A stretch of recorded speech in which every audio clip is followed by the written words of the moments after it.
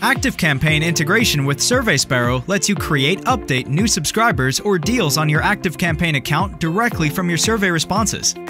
Let's see how it works. After creating your survey, navigate to the Integrate tab and enable the ActiveCampaign toggle. Enter your ActiveCampaign API URL and API token to authorize your SurveySparrow account. To find the API URL and token, log into your ActiveCampaign account. Go to Settings and Developer. You'll find the API access credentials right there. Copy-paste them to your SurveySparrow account.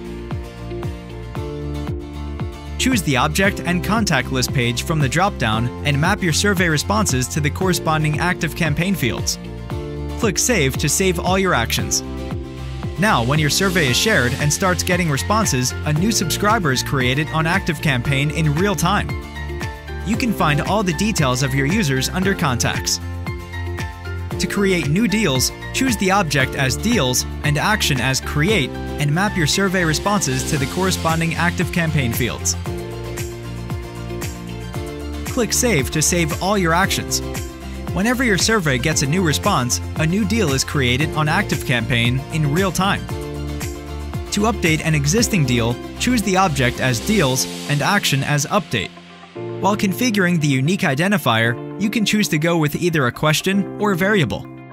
If you're going with a question, pick a question from the dropdown and map your responses to the corresponding ActiveCampaign fields. And if you're going with a variable, you'll have to first add a custom variable under the Global Variables section on your survey builder. In this scenario, our custom variable is deal ID so that all the new details will get updated under an existing deal ID when the survey is shared. Now, come back to the ActiveCampaign mapping page, choose the object as Deals and Action as Update. Select the variable from the dropdown and map your survey responses. The variable deal ID should be passed along with the survey to update deal entry in ActiveCampaign. And when the survey gets responses, the existing deals will be updated with new details in real time. To disable the integration, go to the Integrate tab and switch off the toggle. For further help, please reach out. We're just a chat away.